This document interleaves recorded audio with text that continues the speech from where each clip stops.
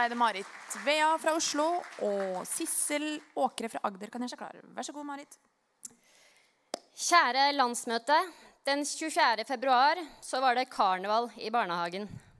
Jeg var stressa med unger og kostymer og skulle rekke et møte om en nedleggingstruet fødeavdeling på Ullevål sykehus. Så skrudde jeg på radioen og skjønte at Russland hadde invadert Ukraina.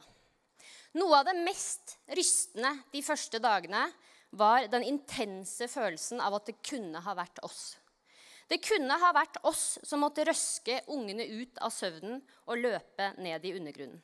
Og krigen i Ukraina føles nær fordi den er nær. Hvis Ukraina taper frihetskampen mot Putin, så er vår frihet truet. Men det er ikke bare på Ukrainas slagmarker at folk slåss for frihet. Demokratiet er under press over hele verden. Bare én av fem lever i land som kan kalles frie, og det tallet går nedover. Kvinnekampen har bråbremset, USAs høyesterett har åpnet for forbud mot abort, og i Iran slåss kvinner en ufattelig modig kamp mot et stadig mer totalitært regime.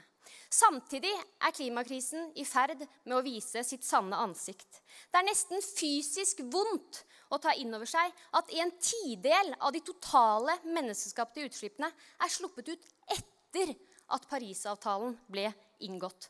Alt det snakket, all den kunnskapen, alle de løftene, og så er resultatene så brutalt nedslående.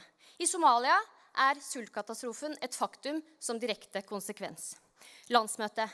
Vi i Venstre vet at vi har et ørlite tidsvindu for å hindre de verste effektene av klimaendringene. Vi vet at det er mulig å stanse tapet av natur, og vi vet at det er vår og vår generasjons jobb å snu retningen verden går i. Men det absurde er at det vet jo regjeringen også. Likevel er de helt ute av stand til å levere politikk som svarer på de krisene vi står i. De kutter i naturvernet, de skroter noen av våre mest effektive klimatiltak, og de svekker bistandsbudsjettet. Under pandemien så klarte vi å endre, atferden vår, og vi klarte å endre politikken for fellesskapet. Nå må vi gjøre det samme for å sikre framtida vår. Vi må endre måten vi produserer, måten vi forbruker, måten vi styrer, og hva vi finansierer. Vedum og Støre har allerede vist at det får de ikke til. Men det gjør Venstre. Vi har politikken, men vi mangler makta. Nå er det ett år til valget. Ett år til å vise velgerne at vi skjønner utfordringene, og at vi har løsningene, og at vi er klare til å ta ansvar. Takk. Takk skal du ha, Marit. Da er det Sissel Åkre fra Agder.